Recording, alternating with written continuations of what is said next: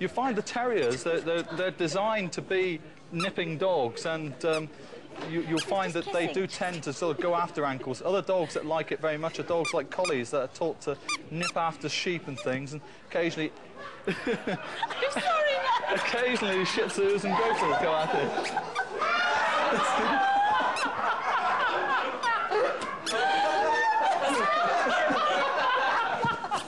I'm sorry, Gordon. I know. He's just very affectionate. Go for his ankles. Zoltan. He's Go for just his ankles.